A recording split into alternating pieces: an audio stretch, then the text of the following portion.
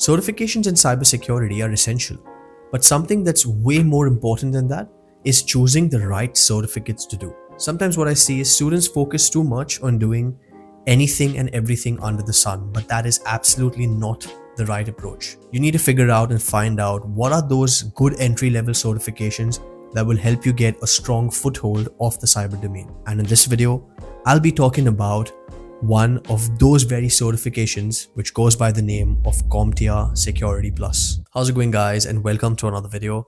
My name is Royden and I work as a cybersecurity tech professional in Australia and have worked for multiple critical sectors within this domain. If you're a beginner within cybersecurity and are looking to understand what are the certifications you need to do because there are plenty out there, especially the industry entry level certifications, then you need to watch this very video till the end because I'll be talking about the mother of all entry level cybersecurity certificates, which is the CompTIA Security Plus. I'll be speaking about the different domains that fall under the certification, how you prepare for it, what are the salaries you can get once you clear the certification, um, what are the different job titles you can apply to, everything related to the CompTIA Security Plus. So if you're confused and are a beginner, what are the certifications you need to do?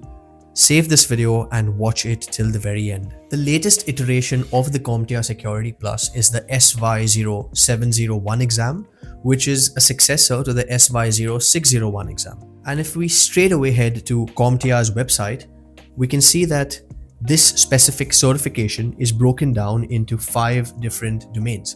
And you start off with your general security concepts, threats, vulnerabilities, and mitigations, security architecture, security operations, and security program management and oversight. First, let me make one thing clear is that this is not a sponsored video or there's no partnerships with CompTIA or anything like that. I'm speaking about this from pure experience and what I see the industry trends to be. And just looking at the whole breakdown of this exam, what it tells me is that, okay, this specific course is broken down into five different modules. Your exam syllabus is also consisted of these five different modules. And if you just look at the patterns or what are the different things these modules cover, it touches upon the very basics and foundations of cybersecurity. We'll do a deep dive into the breakdown of these different concepts from an exam perspective, but let's try and see what are the different job roles you can apply for once you get your CompTIA Security Plus. And that is listed on CompTIA's website as well. And the different titles that you qualify to apply for would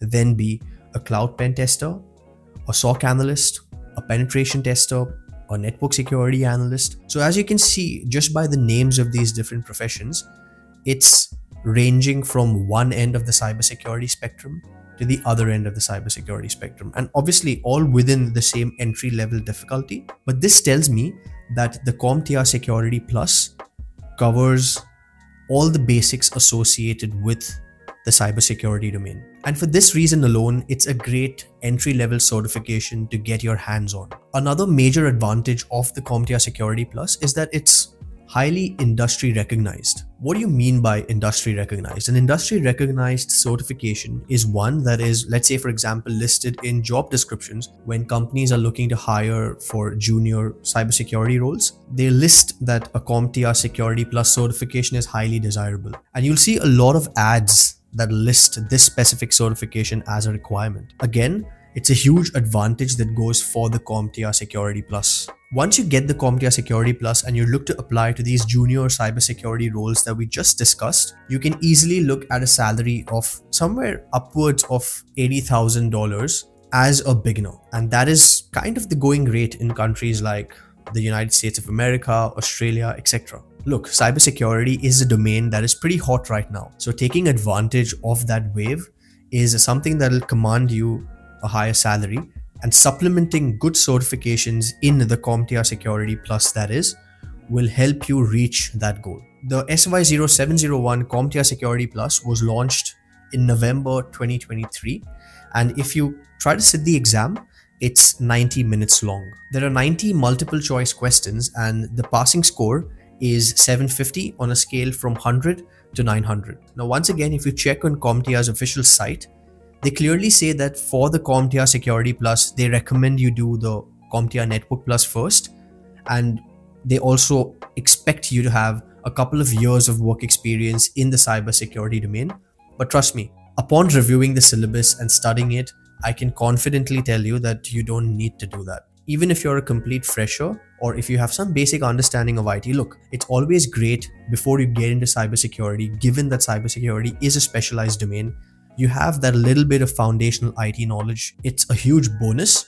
But let's say, for example, if you're a complete beginner, I would still recommend this certification for you to do. Now, one of the biggest questions is that how does the CompTIA Security Plus compare to other industry entry level certifications? And the ones that I'm going to take for comparison are going to be some of the more popular ones, which are the ISC2 certified in cybersecurity. Uh, we'll also look at the certified ethical hacker and we look at the Google Cybersecurity Certificate course, which is offered by Coursera. Now, again, the reason why I'm taking these three different certifications is because you hear a lot of these names pop up in the whole beginner cybersecurity circuit. And even when students message me, they come up asking, okay, which certification is the best out of these entry level certifications? And if you rank the CompTIA Security Plus against all of these, I can confidently say that the CompTIA Security Plus is a clear winner if you want to understand the overall foundations of cybersecurity as a whole. The Certified Ethical Hacker focuses more on pen testing if you want to get junior pen tester roles, whereas the CompTIA Security Plus can help you unlock multiple doors, not just penetration testing roles. The ISC2 certified in cybersecurity is also a great little certification, which I've made a complete review video on this channel. However, if I compare it to the CompTIA Security Plus, it's way easier to get that certification. And as a result of this, it's not that well recognized in the industry to help you get your first role. Similarly, if you put this certification up against the Google Cybersecurity Professional course, which is a course offered by Coursera, which is a do it at your own pace course, and you get a certificate at the end of that course, but there's no exam associated with it, just like you've got an exam associated with the CompTIA Security Plus. And just for that reason alone, the Security Plus again stands out as a clear winner against the Coursera Google Cybersecurity certificate. Let's talk about the price for this certification. Now, this is where I feel that there's something that goes against the CompTIA Security Plus is the price for this certification. And the current exam voucher for the CompTIA Security Plus will cost you $404. And that is a little expensive if I look to compare it to other certifications out there on the market. Let's quickly look at the syllabus or the breakdown of the five different modules for the CompTIA Security Plus. I'm going to link the syllabus for download in the description section of this video so you can go download it and check that out as well. Starting off with the general security concepts, it focuses on the fundamental concepts first, which is great because before you get into understanding advanced stuff, you first need to familiarize yourself with the lingo associated with cybersecurity. And that is where the first module from the CompTIA Security Plus is a great one because it will help you familiarize yourself with all of those different definitions and what different terms within cybersecurity mean. You look at AAA, you look at the CIA triad, which is confidentiality, integrity, availability. Um, you look at physical security, you look at zero trust, all of that stuff within the first module. Other than that, you'll also look at the change management process, which is very important, especially in big organizations. Whenever you're trying to deploy any changes, you've got to go through a change management process and how that process maps to cybersecurity.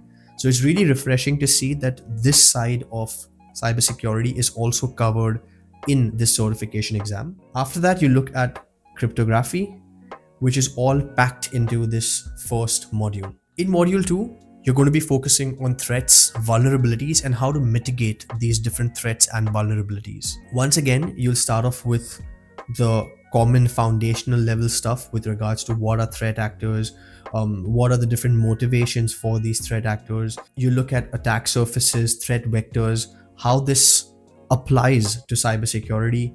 Um, you'll also look and understand the various different types of vulnerabilities that are associated with devices, with networks, etc. And finally, we look at malicious attacks, which are associated with malware, physical attacks, network-based attacks, application attacks, um, password attacks. So once again, you're focusing on every domain within the broader domain of cybersecurity. The third module focuses on security architecture, which revolves mainly around um, third party vendors, infrastructure as code, um, what are cloud networks, what is cloud security, uh, centralized versus decentralized networks, what are on premise networks. As part of this module, you'll also look at the different devices like web application firewalls, you look at load balancers, next generation firewalls. So, once again, it's a great little mix of different technologies. Module 4 focuses on security operations, which is mainly associated with helping you to get a SOC analyst role and then focuses on how you harden targets, uh, focuses on wireless devices, mobile solutions, wireless security solutions, app security, what is sandboxing, how you monitor devices, all of these different skills that are mainly associated with a SOC analyst role. And finally, module 5 focuses on security program management and oversight, which you can classify this as the boring stuff within cybersecurity, although it's not, it's very important but it's not very technical and focuses more on what are standards, what are procedures, what are policies, how you can enforce standards, what are the difference between standards, procedures, policies, all of this stuff which relates to the governance side of cybersecurity. You'll also look at the risk management process, you'll understand and learn about compliance, and you'll also be given scenarios where you'll have to use this knowledge to implement security awareness practices. If you look at the breakdown for these different modules from an exam perspective done percentage wise, then the least weightage goes to general security concepts, which is 12%. Next up comes module 3, which is security architecture at 18%. You've then got your module 5, which is program management and oversight at 20%. And your two biggest modules are module 2 and module 4, which is threats, vulnerabilities, and mitigations. And module 4, which is security operations, as I said earlier, more associated with helping you get a SOC analyst role is sitting at 28% of the exam. Now, speaking about what are the different resources you need if you want to prepare for this exam. And again, number one, the first thing that you got to do, and this stands true for any certification out there, is you've got to do the original guide which is offered by CompTIA for the specific exam. That is one of the most important resources that you've got to do back that up with a good video library. Now, there are plenty of good video courses out there. One of the ones is Zero to Mastery. The link is going to be in the description. It's got a nine hour long CompTIA Security Plus course. This is charged at a fee. Uh, the link is going to be in the description. You can check all of that information out there. But if you're looking for something free, then you can look at Professor Messer's CompTIA Security Plus video library, which is also very good for this exam. So you do the guide, you do the um, video library and you're in a pretty strong position to then pass the exam. But of course, you should also do some practice tests and Udemy is probably one of the best platforms when it comes to finding good practice tests. So you can just go on to Udemy, find a practice test with good ratings, read the reviews, see which was as close to the exam and go ahead with that one, practice, and you should be ready for the exam. So there you go guys, this was a breakdown of the best ever entry-level cybersecurity certificate, which is the CompTIA Security Plus. If you like this video or found it helpful, I would really encourage you to check a latest playlist that I made on Home Labs. You're going to find it right here. You can check the Home Labs, practice them in your own time, and it comes with a guide as well. Share it with anyone who's looking to get into cybersecurity. Thank you so much for watching, and I'll see you in the next video.